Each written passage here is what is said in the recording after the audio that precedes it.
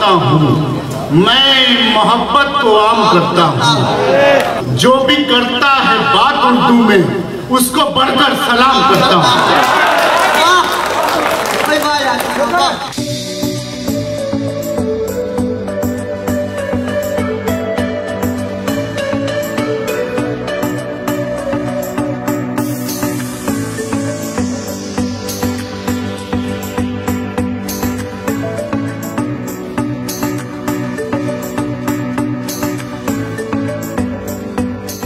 हक वाले ग्रुप के नौजवानों की जानब से मेहरान आर्ट्स काउंसिल हैदराबाद में बज़म शरा का इनका किया गया जिसमें मुल्क के नामवर शरा शरीक हुए। जिनकी आँखें प्यारी बातें झूठी हों उन पर अपने सपने जाया मत करना। जिन लोगों को खामोशी की कदर न हो उनकी खातिर लहजे जाया मत करना। वाह! मुझे एक मुलाकात की याद आई। मिलाया जो मैंने किसी से किसी को। सितारों से धमकी जो आने लगी है। सितारों से धमकी जो आने लगी है। कहाँ ले गए थे मेरी रोशनी को?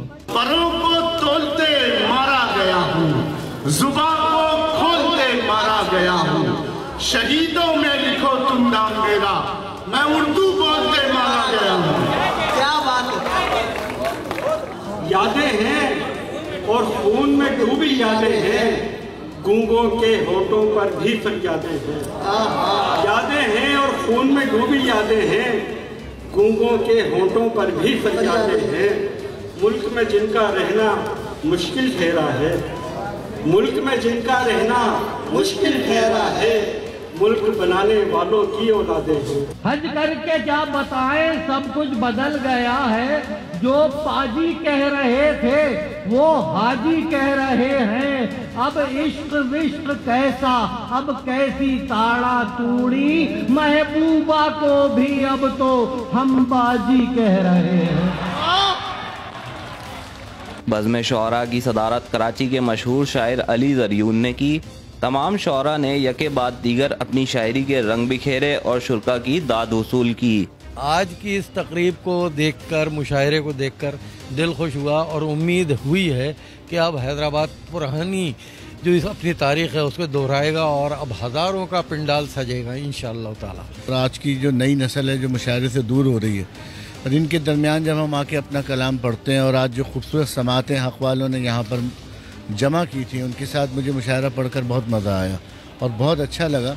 और इस तरह के मुशायरे मनद होते रहने चाहिए, क्योंकि उससे जो हमारी नौजवान नस्ल मुशायरों से दूर हो रही है, वो जब अब नई नस्ल को सुन रही है तो उनको भी पता चल रहा है कि अब शायरी जो है, थोड़ा सा मुख्तलिफ़ जावियों से होकर हमारे सामने आ रही है और नई नस्ल उस तरफ़ बढ़ रही है। मुझे इस बात की खुशी है। अदबी प्रोग्राम जो है, वो हैदराबाद की जो है, वो सकाफ़त रही है।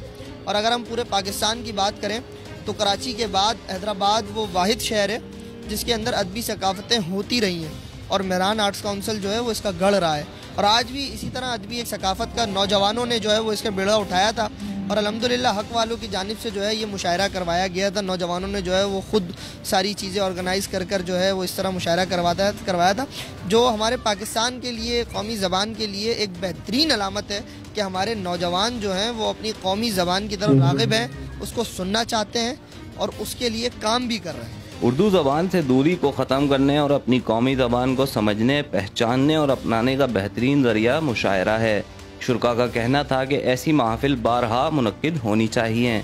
कैमरामैन फ़हीम खान के साथ, शाहजेब शेख, हैदराबाद टाइम्स।